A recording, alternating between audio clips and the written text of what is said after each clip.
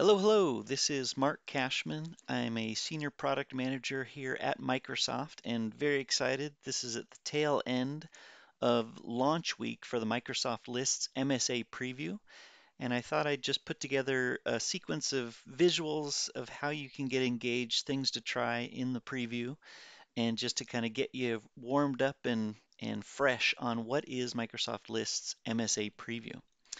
So first I'm just here in a browser. I just am starting with Bing and I can see that when the Earth's atmosphere gets excited, we're treated to this awesome glow show.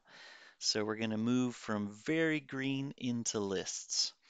Uh, so first thing you want to do is type in lists.live.com and that is going to take you to the new preview page that just tells you a little bit more information, kind of grounds you in, yep, we're talking about Microsoft 365. The product is Microsoft Lists, and this is the MSA preview. And to be real clear, MSA stands for Microsoft account, which means your consumer or your, your personal profile. If you use this with office.com, outlook.com, um, OneDrive for personal use, it's all in that realm, um, but it is based on that same MSA. So if you already have one, great, sign in. If you don't have a Microsoft account, then just create one. They're free. And then come back here and sign in. Either way, when you get here, if you go through the sign in process, if you don't have an MSA, it's going to prompt you for one. And if you do, then it's just going to ask you what is it. And then when you sign in, you'll be on your way to getting into the MSA preview. So I'm going to click sign in and I am already an MSA user and I've already gone to Microsoft Lists MSA Preview, which is what you're looking at right now. So um, the preview page, if you hit it, sign in or sign up and then sign in. Um, and also take a time to review what is this thing. If you don't know lists at all, then it's a really great uh, tour in terms of all the things that you can do and some of the experiences, a preview with some of these screenshots. If you like frequently asked questions, we've got a few down here towards the bottom. Uh, and it'll guide you through sort of the what is it and hopefully encourage you some of the things that I'm going to show you what you can actually do with this list preview. Uh, so once you're signed in, you are then free to use this. It is open and available at no cost during preview. And you can see here in my view, I've already created a few lists and favorited them. And of all the lists that I've created, I've favorited. So they're really the same set of lists. But you would see anything recent here. If I hadn't clicked the star to make it a favorite, then it would start to show here. And when we create one, you'll see what that looks like. Uh, so the first thing that I want to encourage you to do once you're signed in and you kind of land on this lists home experience signed in with your MSA is create a new list. There's a lot of ways to create lists. You can create from blank, you can use an existing list, or you can bring it from a CSV file or an Excel file that's been saved as a CSV file.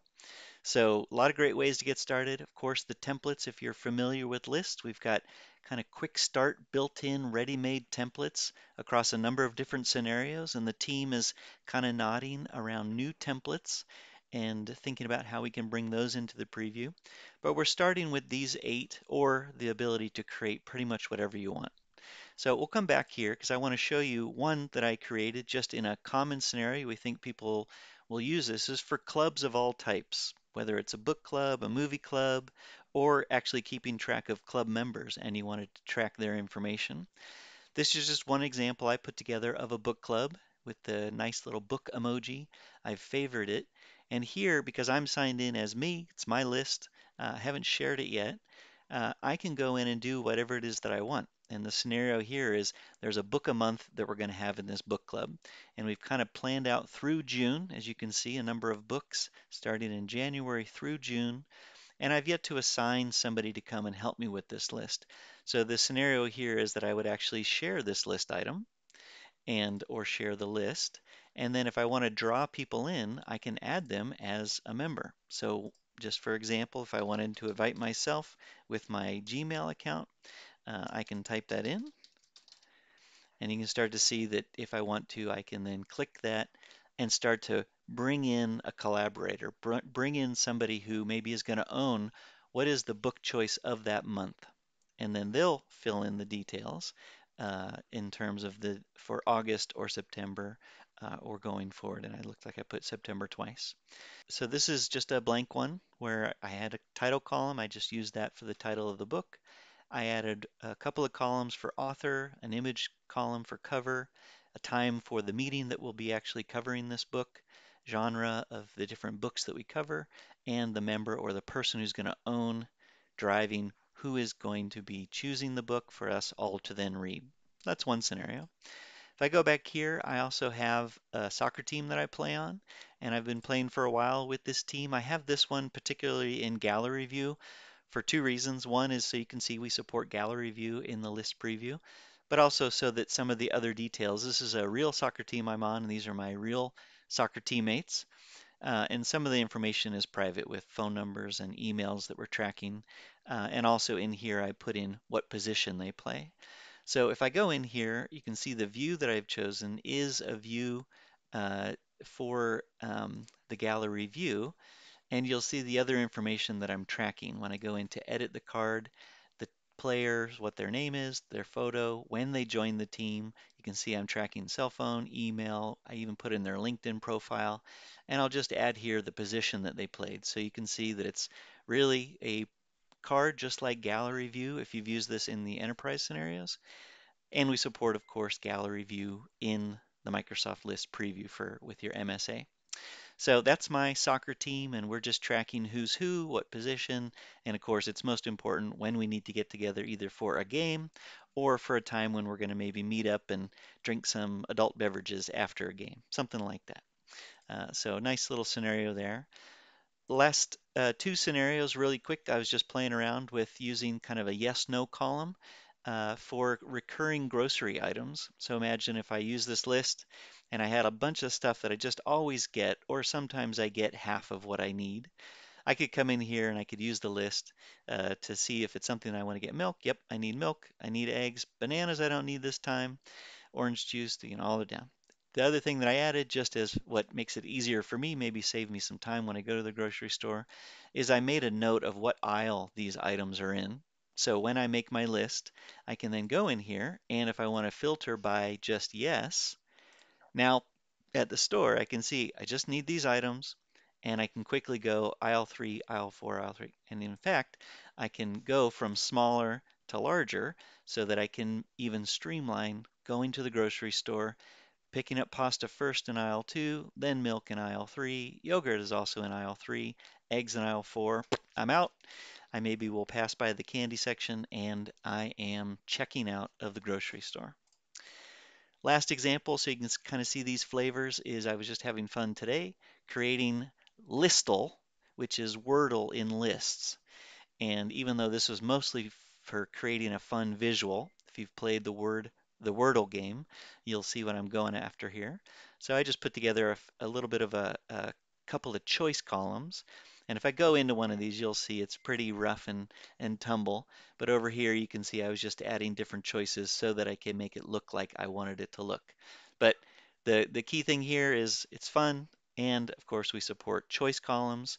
And just before I move into creating one from scratch, you can see that we support a lot of different column types. If you want just text, you can create number columns, yes, no columns, people columns or person columns. That's important if you want to draw people in, date and time, choice, hyperlink, image. And of course, you can create a lot of different columns left to right. You can go into gallery view, and of course, we support calendar view. So from the top level, uh, real quick, I just want to show you what it is to create a list. We'll first start a list from blank, and we'll just, just call this one that world example, hello world. And uh, we'll make this one a nice pink color, pig for pink, create. And just like that, I'm pretty much dropped into a fresh new list, uh, and I can add items. And if you notice, we drop you right into grid view in an edit mode, which is pretty new. You can set that as your default, uh, or if you don't like that, you can change the default.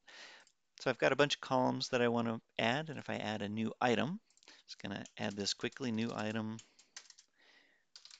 number one, I agree, and I'm going to add an image here. And I'm going to add one of these fun things that we were passing around today, which are some of these new backgrounds for Microsoft Viva.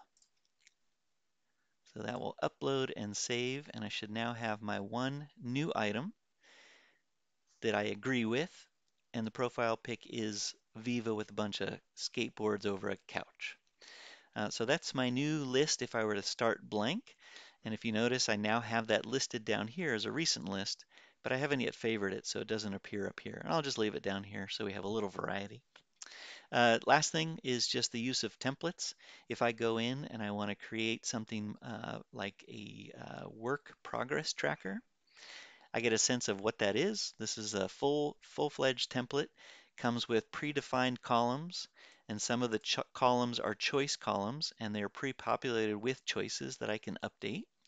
And of course, they track other things as you would expect for different work items, uh, those things that you might. And we'll just call this the M. Cashman Progress Tracker. And since I like the color green, and maybe one day I'll hop in a rocket and check out the stars, click create, and now off of a template, as you would expect, all those things that are pre-populated for me are available. Of course, no, no actual uh, items yet. I'll add one here so you can see the different uh, things that are pre-populated and filled out. So I'll just put the first work item as I'm always working on myself, uh, new and improved each day. And gonna go and I'll make myself an engineer today and progress is in progress, always in progress, never completed uh, when we're working on Mark here. And I'll make this a high priority. The start date is 4-12-1971 and hopefully no due date, no end date, and I will assign that to myself. Anyhow, you get the point. As I add more detail, you can see the formatting's already there, some of the details around how we want to organize this. And if you notice now, there are even pre-populated views. So this is the all items view. If I want to go, I haven't really created a bunch here, uh, and we're bringing this soon, this grouped by. Uh, so those aren't showing just yet. But if you notice, we've got a new tabbed experience for what will appear here is the different views. And if I want to go in and create a new view, I can do that. And you'll see we have this uh, new way to get started. I'll just create a quick gallery view and make it public. So now we see them as cards, even if they don't have images, you can still make them cards. And you can still control how these, these cards uh, appear. And we'll put one in for a calendar as well, and we'll just use the calendar emoji. Pick calendar, and I'll choose due date, click create, and now we've got on the M Cashman progress, progress tracker, we've got a nice calendar view, a gallery view, an all items view, and soon coming are even these pre-populated grouped by. So back to lists, you can see you can create a whole bunch of lists very quickly, leveraging the templates, a lot of the features that are built in and baked in, and some of the new experiences like tab views, the ability to invite people as you add them as a collaborator from within the person uh, column. And the last thing that I wanted to show you, uh, just to give you this quick tour, is if you're in multiple clubs as one scenario, I can go in and I've already created that book club and maybe I want to either create another book club or I want to create a soccer club or a movie club or but I like the formatting of my list. I might call it something different and we'll do that with movies. So what I'm going to do is select an existing list and choose from my list that book club one. Click next and instead of book club we'll make this movie club using a different icon with movies. And we'll make this one going back into the theater with the projector, choose a different color, and we will set this one uh, with a different icon as well. So now when I click create, it'll give me that pre-formatted choice choices that I've made for what I did with the book club, but here now in movie club, obviously there are no items. So maybe I want to add uh, a new movie here, or this could be even for TV shows. Um, since the new Reacher series is coming to Amazon, I'll put in the Reacher movie. Maybe that's something that we want to review. And on down the road, I'll save some time here for you uh, just to assume I can go in and fill all of these things in. If I need to, I can change the titles of the columns. I can change even pre-populated fields. These are obviously more focused around books. I could quickly go in before I add items and change these all to movie themes, movie thing. Uh, so we'll go in here and we'll choose, uh, sorry, Thriller for Reacher. And you can see adding things very easy. Repurposing some of the things that you've already done in other lists is also very popular. Um, and I did say it was the last thing I'm going to share with you, but the, the really last thing that I want to show you is if I go in to something like this Listserv list, the ability to share is pretty unique. Right now, uh, by default, you can share with anyone and they can edit, but you can remove the ability for them to edit so you can make it for just viewing. You can set an ex expiration date. You can require a sign in. You can set a password. There's a lot of things that you can do to share your lists very publicly uh, so that everybody can see it, but nobody can make any edits or everybody can see it and maybe everybody can edit, or if anything, just work with the edit to the items, not the list itself. If you wanted to set an expiration just for a couple weeks to keep this list available, require a sign in, yes or no. Um, and then once you share this out, you can see anyone with this link can edit. So if I were to share this publicly, to tweet it out, to call for people to submit some ideas that I want to collect for just a, a personal thing that I'm doing, not at work, I could then take that uh, URL and share it out. And just so you can see it, they're pretty long obfuscated type URLs. But when somebody comes in and hits it, they'll be invited right into the list as you were to share it. So a lot of ways to create, a lot of ways to share.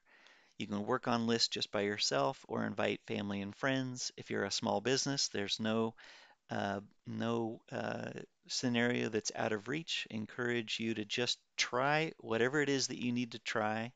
Use it at no cost during the preview. Very easy to sign up, sign in, get started, and hopefully uh, once you get to that point of creating lists, let me know what you liked. Let us know what you might want to be different or if there are features that you come across.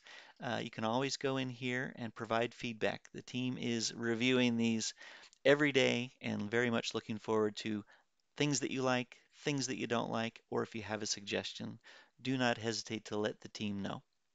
Have fun with the Microsoft Lists MSA preview, and I will see you in the future.